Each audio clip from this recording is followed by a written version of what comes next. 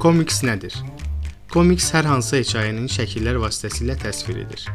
Komiks özündə eyni zamanda ədəbi və təsvirli sənədləri daşıyır.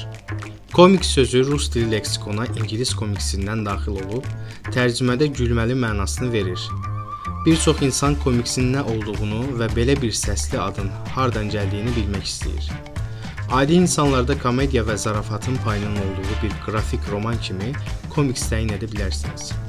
Vizual sənət hekayə və hekayələrdə uğurla birləşdirilir.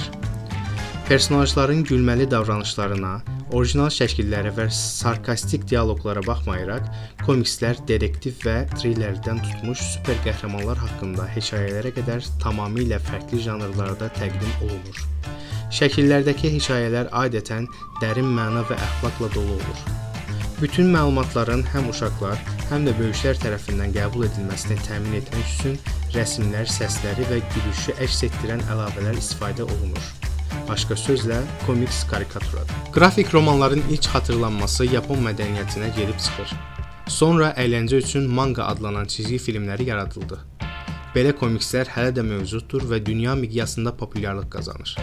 Çizilmiş hekayələr oxucunu cəlbedici hekayələri ilə maraqlandırmaq üçün hazırlanmışdır. Bir qayda olaraq hər kəs qalın kitablar oxumaq istəmir. Komikslər oxucunu tamamilə uydurma dünyaya və ya kainata batıraraq ilk saniyədən çəkir. Hər bir qrafik hekayənin öz rəsm və mətn üslubu var. Komiks əslində nədir və onun mahiyyəti nədir? Komikslər uşaqlar və böyüklər üçün kitablardan, filmlərdən və məqalələrdən daha asan qavranılır.